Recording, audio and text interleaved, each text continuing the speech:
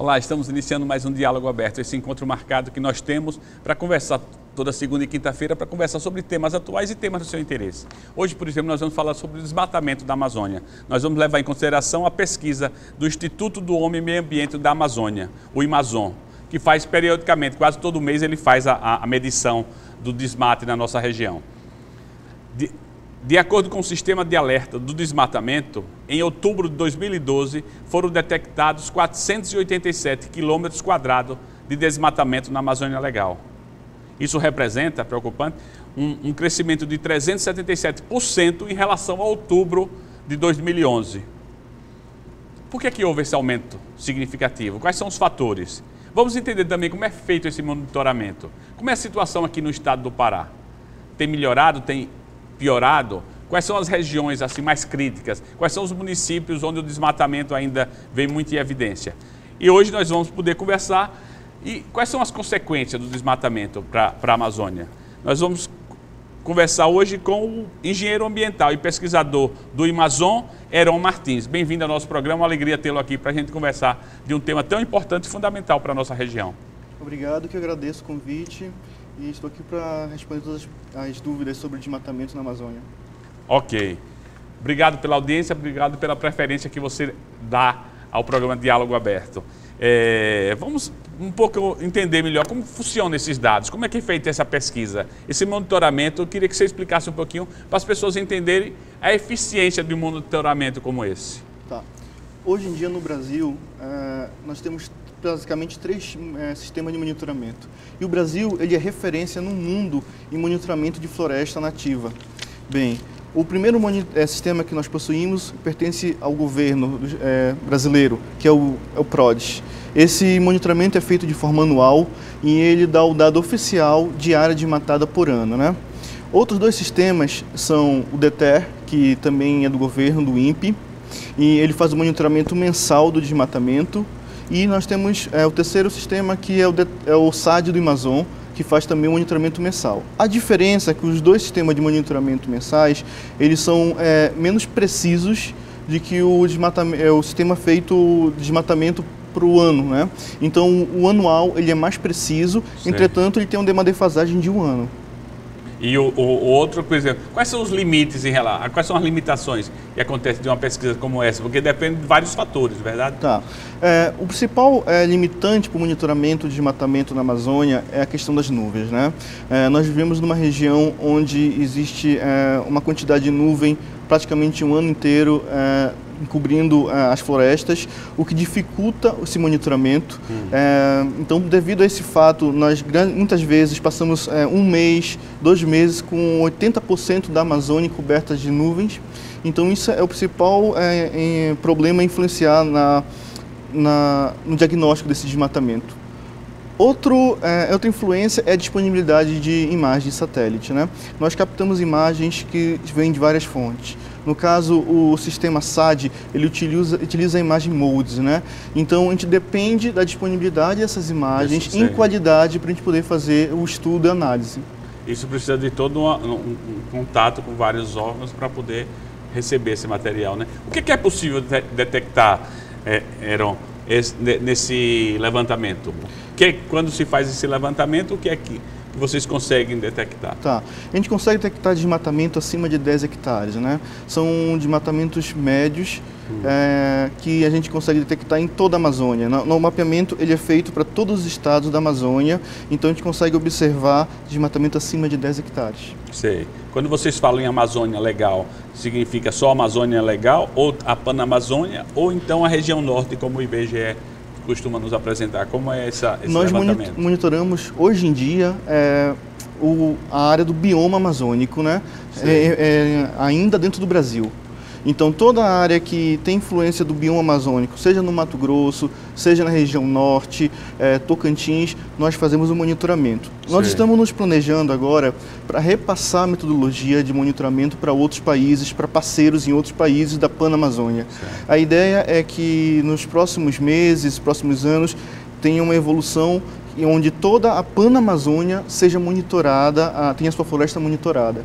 Quer dizer, seria uma coisa nova, não é, não é o que, é que acontece hoje. Quando a gente fala, então para o telespectador entender, entender melhor, quando se fala levantamento da Amazônia legal, seria daqui da, da Amazônia brasileira. Amazônia brasileira. Né? Exatamente. Né? A ideia no futuro é a gente ter esse entendimento do desmatamento em toda a Amazônia. Infelizmente, é, outros países não estão tão evoluídos quanto o Brasil no monitoramento das suas florestas.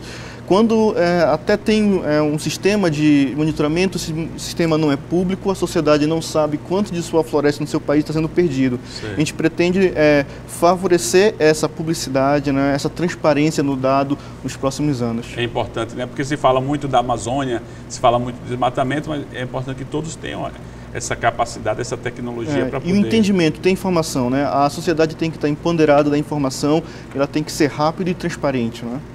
Desde quando o Amazon faz pesquisa em relação à, área de desmatamento na Amazônia? É, sobre desmatamento, é, desde da sua fundação, em, em 1990, o Amazon trabalha com esse tema, mas o monitoramento em si da Amazônia como um todo, desde 2008 que o Amazon vem monitorando toda a Amazônia. Certo. E, e, isso vem sofrendo um processo de aprimoramento de, né, de, de metodologia. de metodologia, de qualidade do, do, do, do material e também da, do resultado do, da pesquisa. Exatamente. Hoje o nosso sistema nós chamamos SAD 3.0. Então é a terceira evolução desse sistema e também a gente passou por uma última evolução que é muito interessante. A gente tem uma parceria muito forte com a Google, né?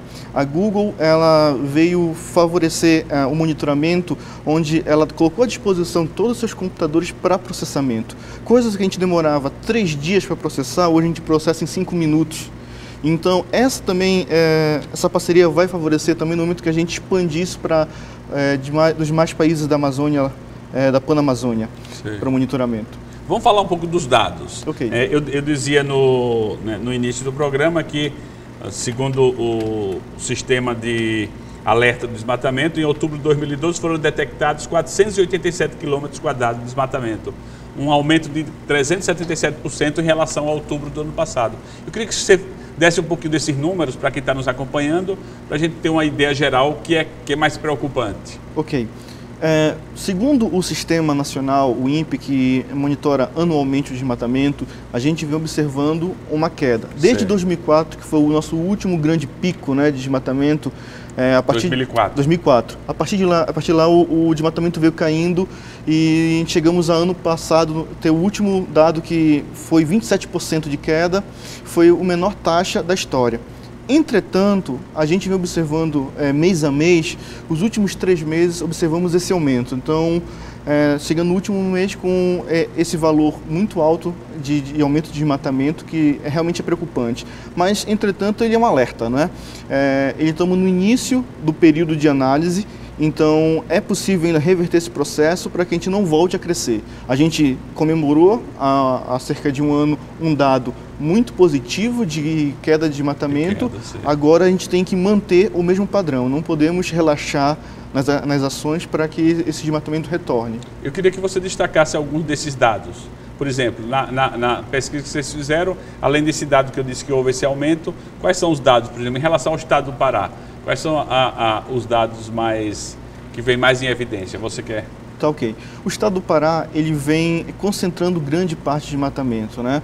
Tem uh, esse mês a gente tornou em cerca de 60% de desmatamento dentro do Pará, né?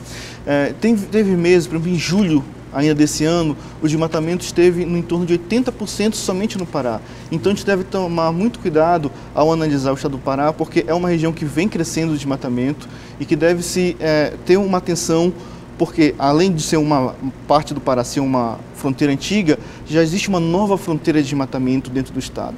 Além disso, é importante destacar que a gente vem observando a concentração muito grande de desmatamento dentro de assentamentos de reforma agrária. Né? Então, são áreas que são de competência do INCRA, federais, e que vem concentrando grande parte desse desmatamento. Sei. E porque, quais são os fatores, desse, os principais fatores desse desmatamento? O que é que você coloca, por exemplo, nós estamos falando do estado do Pará, quais são, o, o eles são diferentes em relação aos outros estados, Queria que você colocasse e destacasse um pouquinho isso. Tá. Cada estado tem sua dinâmica, né? Por exemplo, o Mato Grosso. Mato Grosso é muito, o desmatamento é muito ligado à expansão de agronegócio, principalmente soja e agropecuária.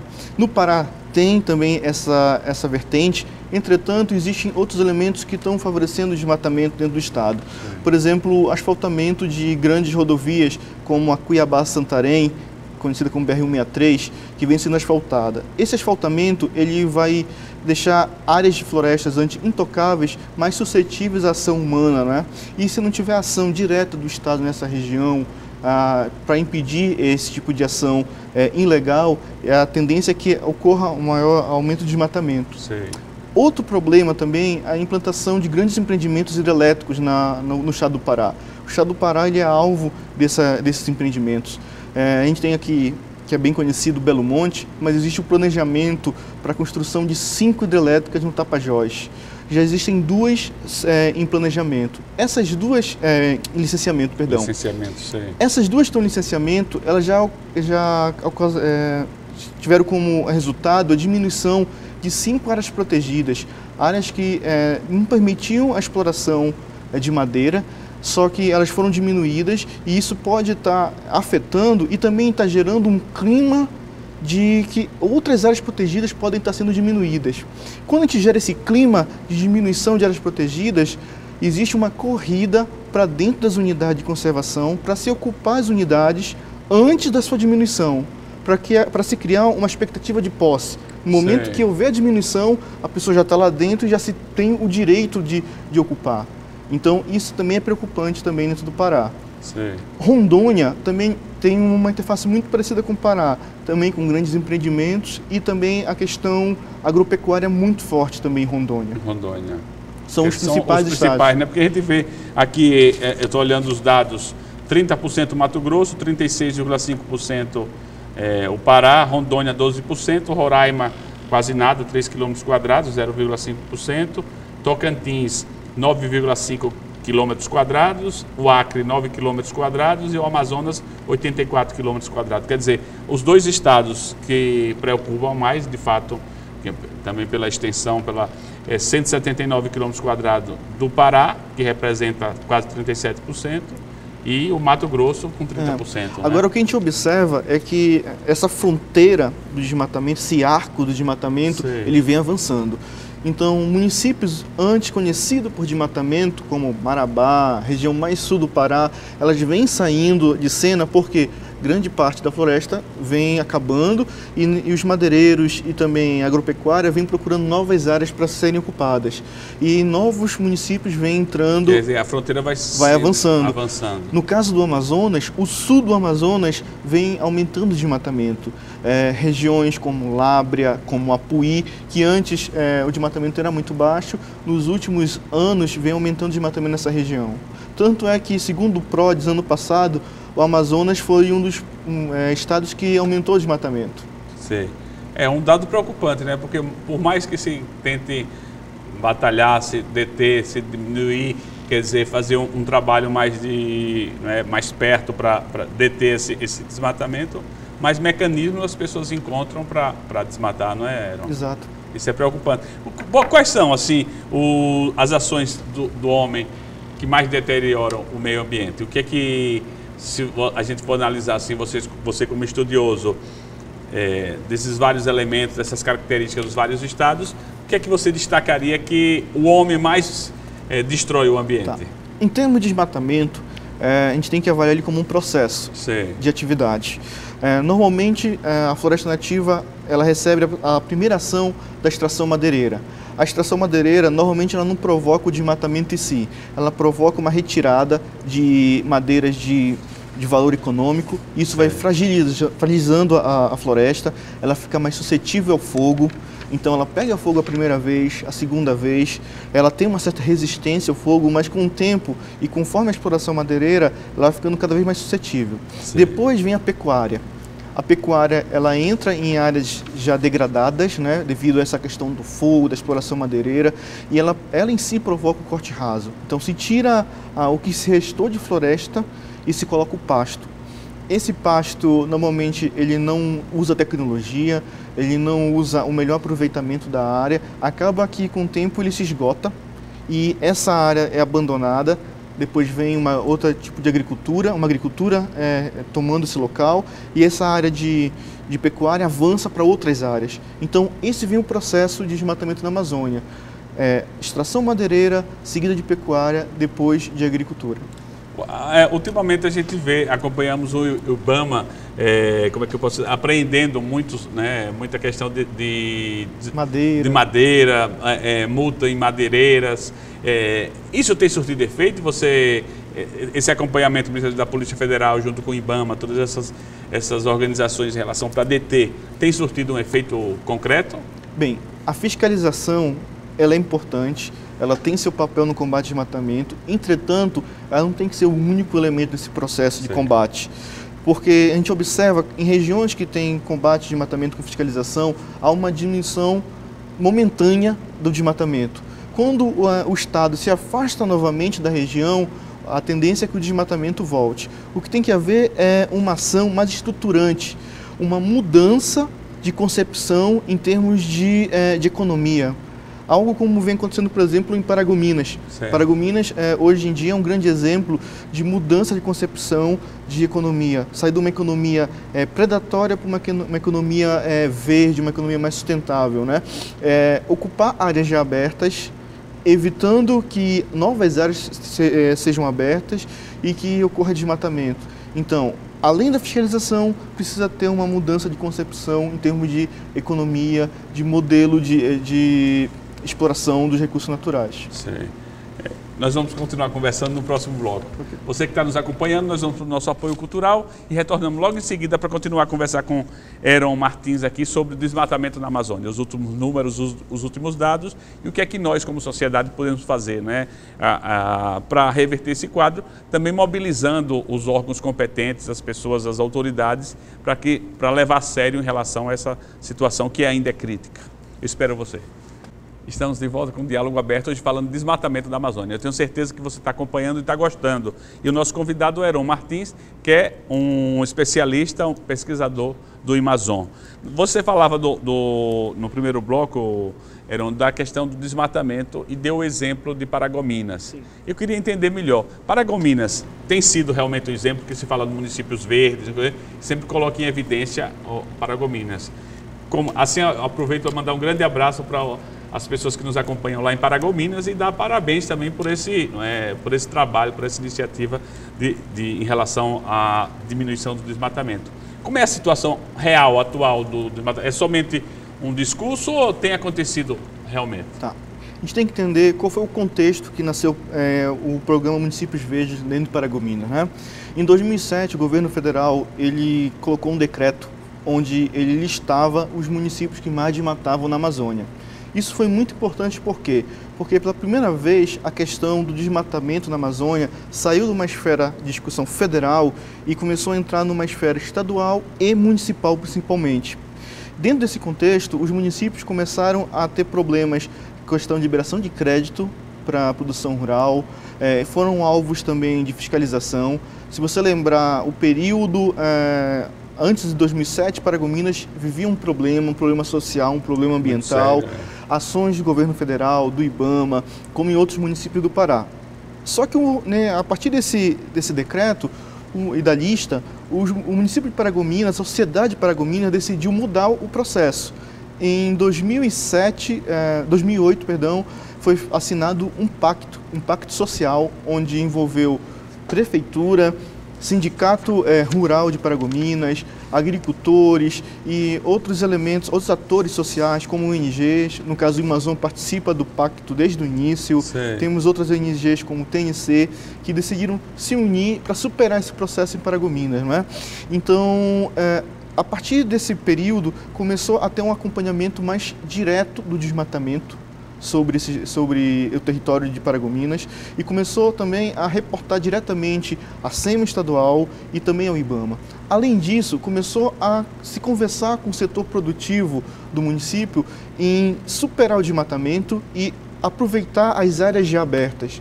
Hoje, em Paragominas e na Amazônia como um todo, não é preciso abrir nenhuma área para se produzir. Já existe área aberta suficiente e Paragominas prova isso, que Paragominas hoje tem uma pujança econômica, tem um destaque econômico e ele não abre nenhuma área de floresta para fazer isso hoje em dia.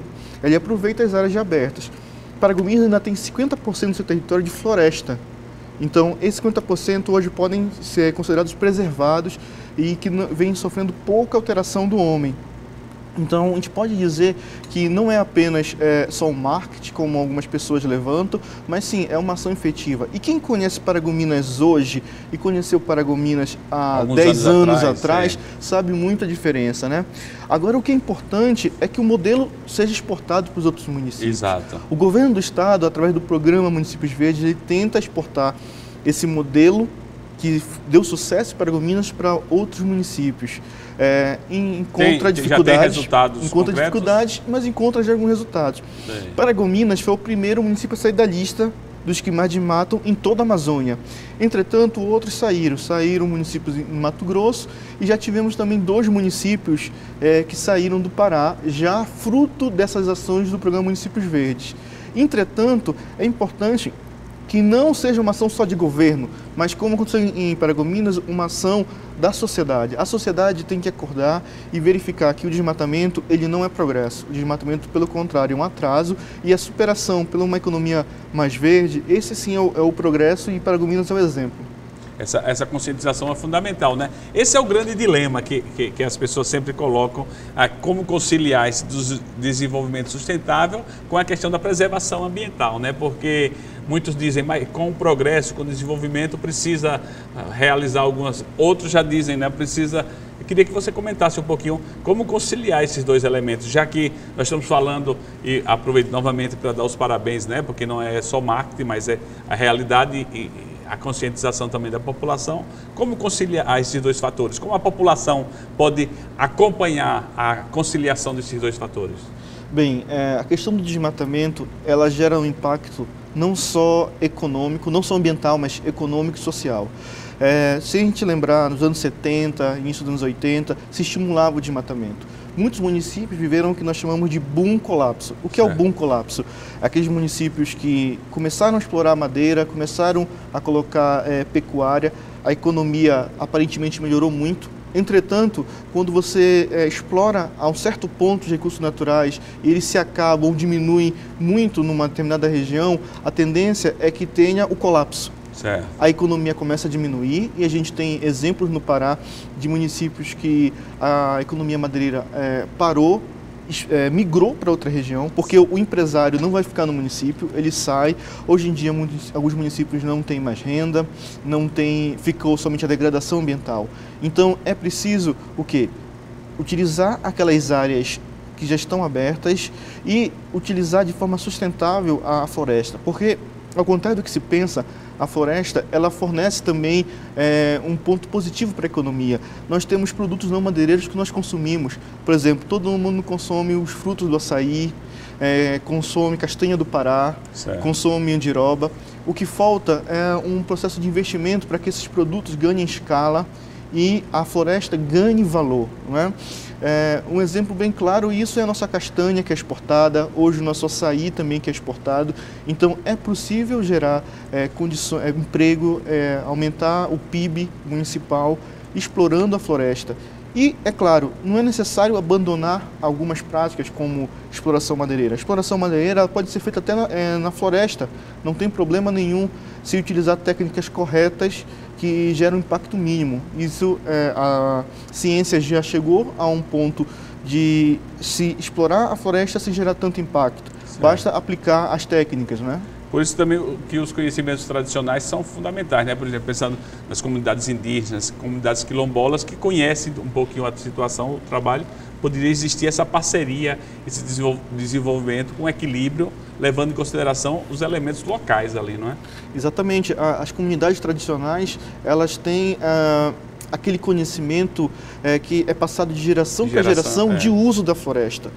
O que acontece é quando a gente abandona esse, esse conhecimento e passa a tentar é, introduzir uma nova economia, uma, te, uma nova tecnologia que vem de um outro eixo do país, que vem de uma outra mentalidade, de um Quer outro dizer, ambiente que não de se fora adapta. um tipo de... é. Exatamente, que não se adapta à nossa região. E isso aí vai gerar o quê? Impacto econômico, impacto social. é, a questão social, ela está muito vinculada à questão ambiental. Às vezes a gente pensa que a questão ambiental é uma coisa, a questão social é, é outra. Quando a gente vê esses grandes impactos ambientais, é, diminuição de recursos naturais, isso vai provocar uma degradação também social. E muitos municípios no próprio Pará passaram por isso. né? E muitas vezes é- essa questão que você disse é uma questão muito séria. Se traz é, fórmulas prontas de fora, sem levar em consideração o homem, o habitante e as pessoas que moram né, naquele local. Isso daí é é um trabalho que precisa ser feito de conscientização também através dos, dos administradores municipais, estaduais, federais. É importante ter essa conscientização. Né? e principalmente da sociedade, né? A sociedade tem que trazer isso para a discussão. Um exemplo eh, que eu dou é a questão da discussão do desmatamento na esfera municipal nas eleições, por exemplo. Certo. A gente não praticamente Não escuta não muito, escuta é. isso, não é?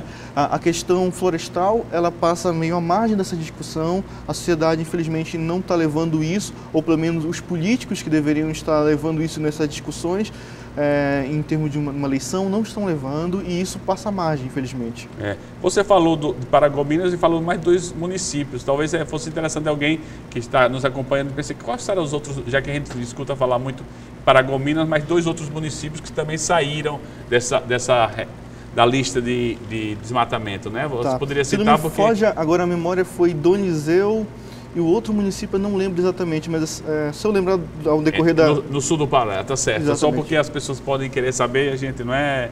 Agora, quais são os municípios paraenses que mais desmatam atualmente? Tá. Como eu falei, nós no passado tínhamos uma fronteira de desmatamento que se concentrava de Paragominas, Marabá, eh, essa região mais sul do Pará. Hoje em dia a fronteira está avançando. É, nós temos um desmatamento muito forte ainda em São Félix do Xingu, em Novo Progresso e Altamira. Altamira, que é considerada é, um, o maior município do mundo, ela fica justamente entre esses dois municípios, né? Certo. Então ela recebe impacto dos dois municípios, é, sendo que Novo Progresso ele fica justamente na região do asfaltamento da BR-63. A BR-63 passa no meio Exatamente, do município, né? Então está chegando muito investimento na região, estão chegando pessoas para implementar é, soja, implementar extração madeireira. Fora a Transamazônica que está lá. Exatamente, também, a Transamazônica também corta aquela região. Então a região do eixo BR-63 e Transamazônica, além de São Félix do Xingu, elas vêm sendo é, o alvo. E essa região que fica entre essas áreas é chamada Terra do Meio. A. Terra do Meio, e ela é importantíssima. Por que a Terra do Meio é importantíssima? Porque lá tem um mosaico. também, é? exatamente. E lá tem um mosaico dos últimos remanescentes, grandes remanescentes de áreas florestais contínuas na- no Pará, né? É, nós temos é, unidades de conservação importantíssimas, né? que- né, nessa, nessa região. Certo. Unidades de conservação que vêm sendo ameaçadas, inclusive. Certo. Vamos falar um pouco do novo Código Florestal Brasileiro. É, até agora a gente acompanhou um pouquinho, foi aprovado há pouco tempo, a luta entre ambientalistas e ruralistas por uma série de motivos, né? Basta pensar é, anistia para quem desmatou, depois a redução de áreas de proteção. Eu queria que você explicasse um pouquinho essa toda a problemática, essa celeuma que se criou em relação ao Código Florestal, quais são os pontos importantes para ela e qual é a sua opinião sobre esse novo Código Florestal que está em ação. Bem, a questão da, da discussão do Código Florestal, ela gerou um impacto positivo e negativo na sociedade. O positivo por quê? Porque isso entrou na pauta. Antigamente quase não se discutia não se falava. isso. Depois estava lá no- na gaveta há muito tempo. É, né? é, infelizmente, é, a forma como foi conduzida a discussão foi muito polarizada. É, de um lado ambientalistas e o outro lado ruralistas e a Os dois sociedade extremos. os dois extremos da situação, né? E houve pouca discussão é, da academia em si. A academia foi pouco chamada para discutir esse tema. É, nós temos é, alguns avanços, isso é importante. O, o Código Florestal de si não foi todo mal. Nós temos a inserção do CAR. O que é o CAR? É o Cadastro Ambiental Rural. Toda a propriedade no Brasil hoje é obrigada a entrar no Cadastro Ambiental Rural e isso o Código novo Código Florestal trouxe isso, né? É importante. É importante também lembrar e tirar esse discurso da mídia que não houve uma anistia, não existe anistia para desmatamento, né? Então quem desmatou, ele não foi anistiado. anistiado então, e é importante também, quem desmatar a partir de agora também não vai ser anistiado. Às vezes isso corre na mídia e isso não foi aprovado, é, felizmente. É, felizmente isso foi vetado. vetado. É, houve algumas alterações em termos de área de ocupação de APP, que é a área de preservação permanente, que é aquela área que fica ali à margem do rio, ou aquela área que fica é, em áreas é, de declive, de montanha. Então houve algumas alterações nesse sentido, mas se manteve, ainda é necessário proteger essas áreas que essas áreas são importantes por quê? Porque elas protegem as nascentes dos rios, ela protege o próprio rio de erosão, né? Se a gente retira essa margem da, ou diminui essa área de proteção, como foi proposta na época, é, isso compromete a, a, água, a qualidade da água. Muitas vezes a qualidade da água que vai servir para abastecimento, que serve para navegação, e a gente tem muito, muitos casos, é, somente no sul do Brasil, de, área, de acidentes é, ambientais graves, devido à erosão, não é? E a gente deve evitar isso. E no caso da Amazônia, a gente deve evitar, principalmente porque a Amazônia ela é destaque em termos de recursos, de recursos hídricos, né? Então a gente tem o maior manancial de recursos hídricos do mundo a gente tem também que valorizar isso também. Sim, e se fala, isso eu acho que é importante mesmo você ter frisado também os vetos que foram que aconteceram pela presidência da República justamente porque é. se fala de uma coisa, mas depois se cortou vários elementos que, não é, é. que pioravam, vamos dizer, o, o novo Código Florestal. Havia uma proposta, uh, vamos dizer, ruralista que era muito negativa é, também não era a, a proposta, é, em termos ambiental, a melhor de ah, todas. É, existia outras propostas é, parte de ambientalistas, até da academia. Sim. Entretanto, não se chegou a essa proposta, chegou a um meio termo. Existiu, existiu perdas e existiu avanços, né? Certo. Então, é importante destacar isso. Certo. Outra, outra questão muito premente né, que nós temos aqui é a questão da concentração fundiária, que ao longo, historicamente, ao longo né, aqui na Amazônia, se concentrou. Eu queria que você comentasse um pouquinho, já que nós estamos falando do desmatamento, de como solucionar ou então diminuir esse processo, desse elemento da concentração fundiária do nosso estado, porque a gente vê uma pecuária com monocultura, com a, é, criação de gado, uma série de, de, situações que tem que historicamente vem, vem se perpetuando, vamos dizer, né? É, a questão fundiária é um grave problema, né, que ele acontece basicamente devido é, desde os anos 70, né, com a ação do governo militar, é, essa, essa ação onde o objetivo era trazer homens sem terra para uma terra, terra sem, sem, homens, homens né? É todo aquele jargão do passado. E infelizmente isso foi feito de forma é, sem planejamento, sem uma estrutura. Muitas pessoas foram mesmo que abandonadas ao longo da Transamazônica, em outras áreas do estado do Pará. E esse problema do passado, ele repercute no futuro, hoje, no presente. É, hoje o principal problema, por exemplo, no cadastro ambiental rural, para que a gente possa saber quem está ocupando realmente as nossas florestas, quem está explorando essa floresta. O principal problema hoje ainda é a questão fundiária, é saber quem é o dono da terra, quem é que está responsabilizado por aquele, por aquele, território, não é? é Grandes territórios. Exatamente. Né? Ah, existe é, hoje a SEMA, a SEMA estadual, né? Possui um cadastro, um cadastro ambiental rural de propriedades. Quando você vai ver esse cadastro, existe uma sobreposição imensa entre propriedades. Ninguém sabe exatamente quem é um dono daquela terra em determinados locais. Isso gera um problema ambiental porque um local que não existe a definição de proprietário, todo mundo quer utilizar e ninguém quer se responsabilizar. Certo. Então é um problema que o governo federal, tem que é, agir ainda. Tem, tem que enfrentar Existem ações né? como Terra Legal, que visa é, tentar é, diminuir esse problema de sobreposições, de definição mesmo de posse. E esse problema de posse, além de gerar um problema social, gera um problema, é, além do problema ambiental, gera um problema social. social. Com conflito de terra, é, conflito por recursos naturais. Nós tivemos é, ano passado a morte de, de dois ambientalistas que tinha por pano de fundo o conflito de terra. Eles defendiam o recurso natural, mas existiam pessoas interessadas na, naquela área que eles defendiam a floresta. Então, o conflito fundiário, ele gera o conflito ambiental e gera um conflito social. Certo, é um, é problema sério, né? Mas você acha que, tá, que existe um processo, quer dizer, existem algumas ações que estão procurando solucionar ou diminuir esse problema? Existe o Terra Legal, que é um, um programa do governo federal de mapeamento dessas áreas, tentativa de regularização dessas áreas, mas ainda precisa avançar muito. Certo. Ainda é talvez o nosso grande problema em termos social na Amazônia são é a questão fundiária e esses conflitos e Esse tudo conflito. que está ligado a isso, né? Tá certo. Nós vamos parar mais um pouquinho. Você que está nos acompanhando, nós vamos para o nosso apoio cultural e retornamos logo em seguida com o terceiro bloco do Diálogo Aberto. Estamos de volta com o Diálogo Aberto, conversando aqui com o nosso é, pesquisador Eron Martins, do Amazon. Né? Vocês tenham, tenham certeza, como para mim está sendo, para você também que está acompanhando, um programa muito interessante de conscientização também de conhecimento em relação à problemática do desmatamento aqui na Amazônia. Quais são, Eron, as consequências mais graves do desmatamento para a Amazônia? Ok. Antes disso, eu lembrei os dois municípios, é, o Lianópolis e Dom Eliseu, que saíram da lista. Infelizmente, no mesmo período que esses dois saíram da e lista... Lianópolis e Dom Eliseu, um grande abraço para vocês, o Lianópolis. Um grande abraço e para Dom Eliseu também e para toda a população desses dois municípios que, que, estão de parabéns também por, essa, por esse trabalho junto com, com o Paraguai. Né? Por favor. É, infelizmente, outros dois municípios entraram, entraram na lista, que é Anapu e senador José Porfírio, né? Anapu e senador José Porfírio, sei. Ok. Então, é, qual seria a, uma forma de combater esse desmatamento e qual seria a tecnologia que deve ser utilizada, né? Sei. Bem, e não existe uma resposta direta para isso. Existem é, várias ações e o monitoramento é uma delas, né?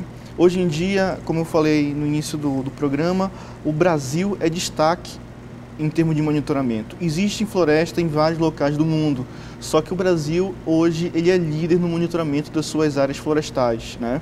E isso foi uma tecnologia é, nacional desenvolvida pelo INPE nos dois sistemas que ele lidera e desenvolvida pelo Amazon no seu sistema, o SAD, né?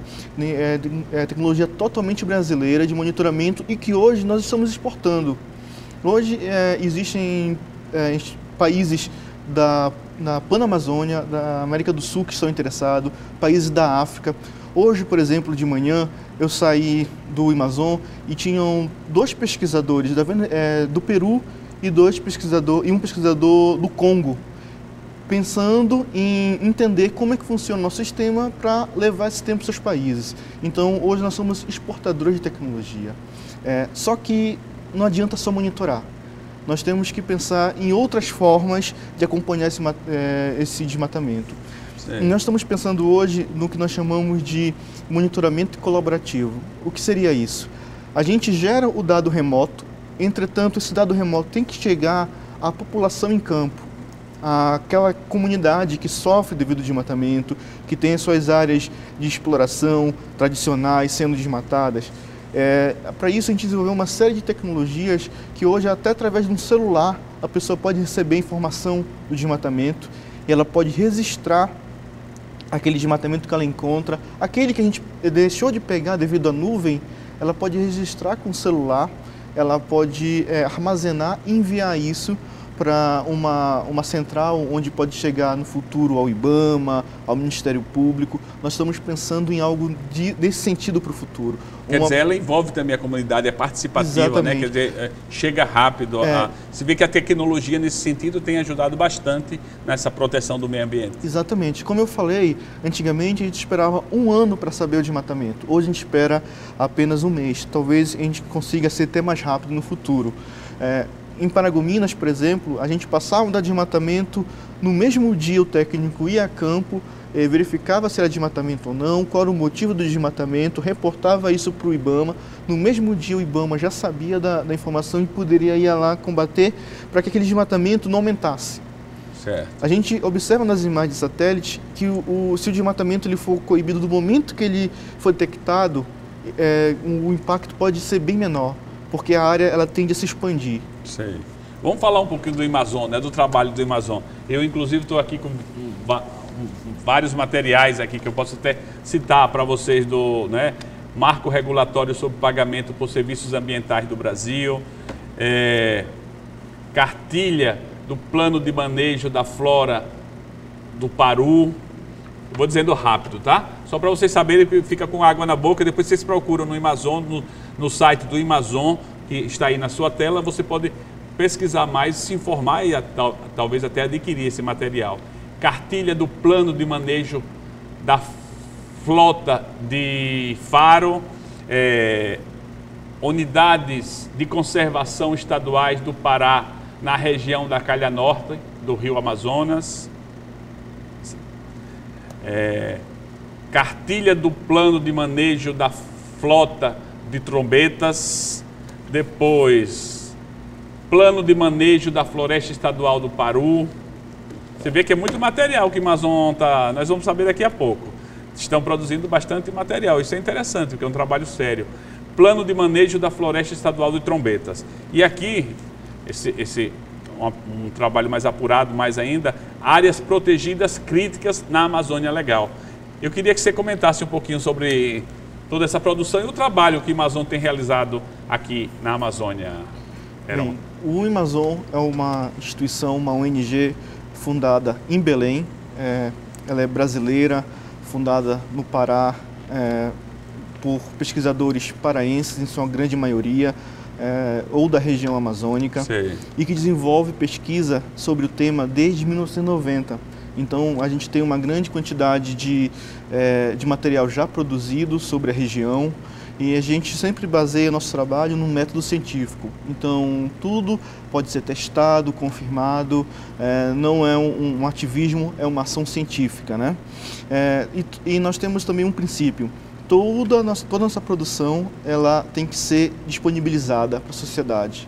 Nada que o Amazon produz fica guardado numa gaveta ou é considerado estratégico a ponto de não ser divulgado. Só para um grupo de estudo. Exatamente. Ou então para um setor do governo ou um setor empresarial.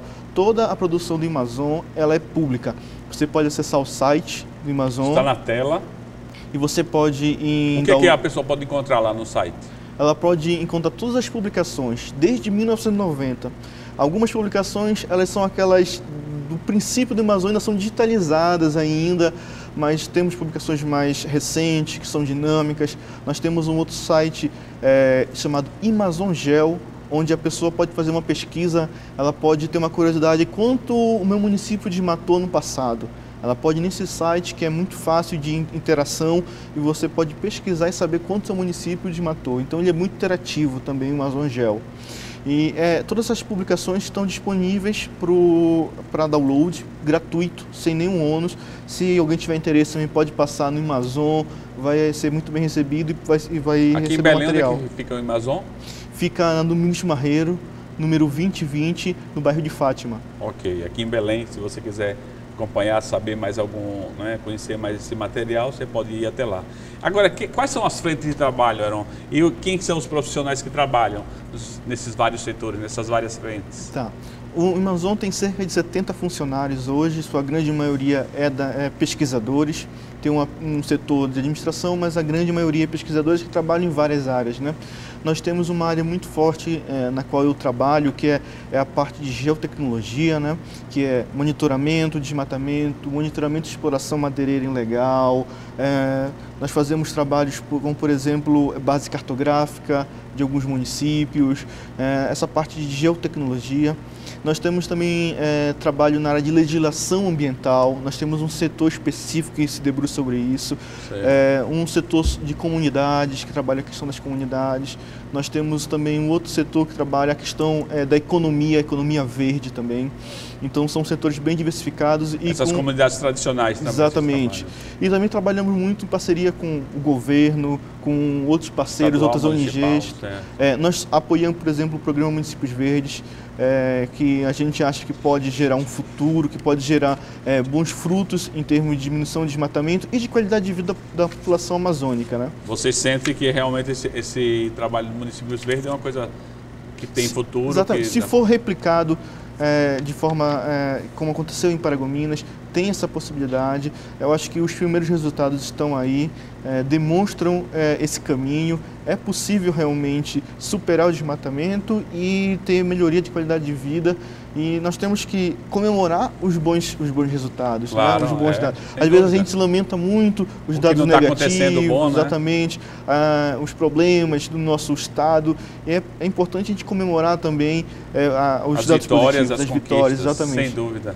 É por isso que a gente pega também esse espaço aqui no diálogo aberto para conversar desse tema para as pessoas. É um, um, modo também de todos os que acompanham a TV Nazaré se conscientizem e conheçam mais profundamente, né? Agora você falou dessas parcerias. Como é que tem sido esse trabalho de parceria, não sei, a, a, as academias, né, as universidades, é, esses vários órgãos municipais, estaduais, federais, para justamente enfrentar o desmatamento e diminuir o, o problema do desmatamento? Bem, uh, ainda é incipiente a questão de parcerias, de, de ação conjunta, mas está começando a criar uma nova cultura. Antigamente, IBAMA de um lado, governo do outro, às vezes eram até concorrentes, questão partidária, mas hoje em dia, infeliz, infelizmente, a gente vê uma mudança nessa concepção. Por exemplo, amanhã, amanhã vai ter a reunião do Programa Municípios Verdes. Amanhã, na mesma sala, vão estar é, instituições como ONGs, vai estar o Amazon, vai estar a TNC, vai estar a IEB, vão ter outras instituições que trabalham é, diretamente com as comunidades, mas vai estar também o IBAMA, vai estar a SEMA, vai estar a Secretaria Municípios Verdes, todos em uma mesma sala para pensar possíveis soluções para o desmatamento. A, a, convidados da população não, é um grupo, é, é, é, é um encontro mais fechado é um para uma reunião técnica. Reunião né? técnica, exatamente. Certo. Mas existem outros momentos de espaço aberto, claro. porque esse é, um, é um, uma ação do, do programa Municípios Verdes. Eles vão aos municípios, fazem grandes reuniões, audiências públicas, conversam com a sociedade a respeito do tema, tentam conscientizar. Então, existe já um processo de, de uma nova cultura, uma cultura de cooperação, uma cultura de cooperação entre governo, sociedade, é, ONGs, é, em busca de, um, de um, novo perfil de desenvolvimento para a Amazônia. Né? Mas, como eu falei, ainda é um processo incipiente certo. que tem as, avanços e retrocessos. Né? Como é que você tem sentido a participação da população em, relação a essas audiências públicas? A gente, que a gente nota que é muito importante, é fundamental que a população participe, conheça, esteja presente, manifeste a sua opinião também, justamente para que reverter um quadro, muitas vezes preocupante em determinada área, em determinado município, na é verdade. Como é que você tem visto essa participação da população em, em, em fóruns como esses? Bem, é, vem ocorrendo uma grande mudança também. É, antigamente, quando você chegava para discutir diminuição de desmatamento, é, em determinados municípios, a reação era muito negativa, né? Ah, você vai querer é, parar o desenvolvimento. Hoje não. Até com o próprio exemplo de, de Paragominas facilitou muito, né? Facilitou muito é, levar essa nova proposta de desenvolvimento. E hoje em dia os municípios é, já aceitam, a, a sociedade já aceita com mais facilidade essa ideia de superar o desmatamento e, e investir numa nova economia. Só que existe uma, outro tipo de sociedade também que é importante. Além da sociedade, vamos dizer, real, dessa do município, que trabalha diretamente com a questão é, da floresta no seu dia a dia, existe uma outra, outro tipo de sociedade que a gente também vê uma grande evolução, que é a sociedade virtual, né? Ela também tem um, uma importância muito tem grande. Tem um impacto muito grande, Exatamente, né? porque ela tem também um poder de pressão sobre, sobre é, instituições públicas, sobre o governo federal, estadual, né? É, a gente observa muito hoje em dia, através das redes sociais, né? As pessoas começam a fazer campanhas. É. A, Lembra na, na, questão do, do, do, Código Florestal, aquele Veta, Veta Dilma, Veta, Veta Dilma, Dilma saiu em tudo que era lugar. Não é? Isso gera uma pressão social também, isso é importante. Então é importante a participação da, das pessoas no, no, chão, como nós chamamos, que é lá na, na, no município, mas também aquela pessoa urbana que às vezes como eu posso colaborar em, é, com a questão ambiental, com o combate ao desmatamento? Eu posso colaborar no momento que eu é, posso aderir a uma campanha. E aderir não é questão financeira, mas é só dizer lá, curtir é, um, uma postagem em relação ao combate ao desmatamento, você já está ajudando a gerar uma pressão positiva. Nós tivemos é, um exemplo há pouco tempo no Mato Grosso do Sul, numa questão de ameaça dos povos indígenas. Né? As pessoas começaram a trocar o seu nome pelo nome da, da etnia é, da tribo, a tribo indígena estava sendo ameaçada. Isso gerou uma pressão social muito grande. No final, os índios foram à televisão não agradecer a, ao governo nem nada, foi agradecer a mobilização dessa sociedade virtual que está se criando. Então, o, a pessoa urbana, que às vezes não tem muita relação direta com a floresta, também pode ajudar também. Isso é interessante, né? Porque a, a, é a sociedade que se mobiliza, organiza e transforma, faz a história porque transforma o seu, o seu ambiente, a sua, a sua região. E Isso é muito interessante. Cria massa crítica, cria também, é, é, desperta o interesse de outras pessoas. Uma pessoa que nunca teve interesse com o tema, ela pode, através de uma postagem, através de um comentário no Twitter, por exemplo, pode começar a se interessar pelo aquele tema, procurar ir, mais a fundo, saber o que é que pode ajudar. Né? Isso tem, tem, tem suscitado e tem crescido, não é? Assim, essa mobilização popular, essa participação popular, essa conscientização de um modo geral da população tem crescido, até mesmo das novas gerações, do, do né, dos jovens. Você nota que tem crescido esse, essa sensibilidade para a defesa do meio ambiente e como é que você vê você como estudioso que acompanha já há vários anos esse, esse tipo de trabalho, como é que você tem visto também, de modo particular, a juventude em relação a esse problema? É, felizmente, a gente vê a juventude como esse elemento que pode mudar a sociedade. Né?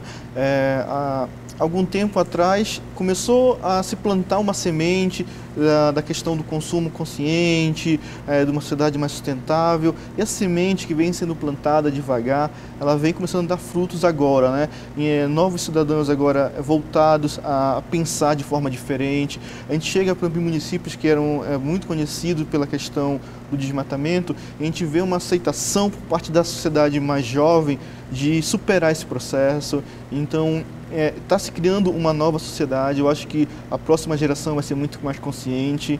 É, no momento que ela começar também a pressionar os poderes políticos, né, para que esse tema seja colocado como ponto central em todas as discussões, tanto na esfera federal, estadual e, e municipal, municipal, e vai ter uma evolução com, com certeza muito grande.